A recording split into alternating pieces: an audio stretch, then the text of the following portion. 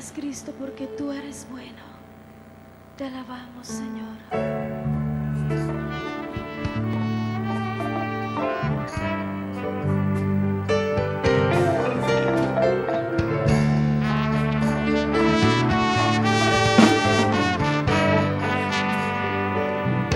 porque tú eres bueno, porque